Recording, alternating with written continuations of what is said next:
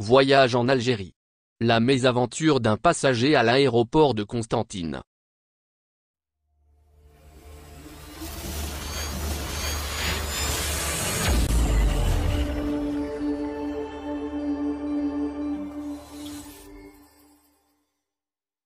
Rien n'est plus frustrant pour un passager que de perdre ses bagages lors d'un voyage, un phénomène qui a pris de l'ampleur en cette reprise du trafic aérien. Mais lorsqu'il s'agit d'un vol, la victime ne sait même pas à quel sein se vouer. En cette fin du mois d'août, les vacanciers algériens parmi les membres de la communauté à l'étranger font désormais leurs bagages pour rejoindre leur pays de résidence. Un retour, précisons-le, qui est autant difficile que l'aller, et sur de nombreux plans, notamment la disponibilité des places. En plus de tous les tracas d'ordre opérationnel, les passagers algériens sont également confrontés au risque de perte ou de vol de bagages dans les aéroports. Les témoignages de passagers victimes de ce fléau foisonnent sur les réseaux sociaux. Certains passagers ayant vécu une mésaventure similaire conseillent même aux autres passagers de faire recours à l'emballage de leur valise avec du film plastique.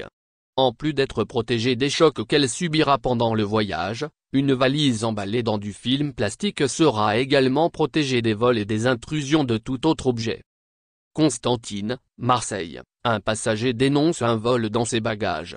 Un passager sur un vol Air Algérie, Constantine, Marseille, effectué vendredi 26 août, a affirmé avoir été victime d'un vol de bagages, tout en affichant sa déception quant au personnel de l'aéroport constantinois, dont les bagagistes.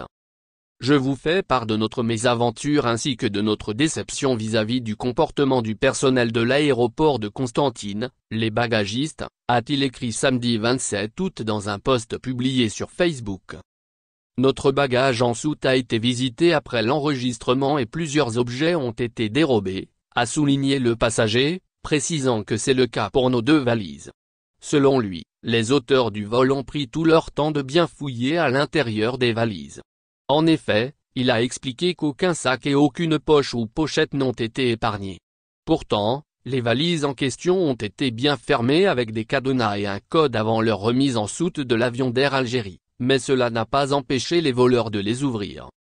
Suite à cette mésaventure, le passager à destination de la capitale française a conseillé les passagers qui vont voyager les jours à venir à partir de Constantine, de faire attention et de ne rien laisser d'objets de valeur dans leur bagage de soute. Merci de bien vouloir activer la cloche et de cliquer sur j'aime.